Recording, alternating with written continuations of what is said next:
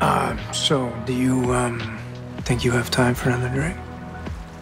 I think I can be convinced to stay for another. Great. In that case, I'll be right back.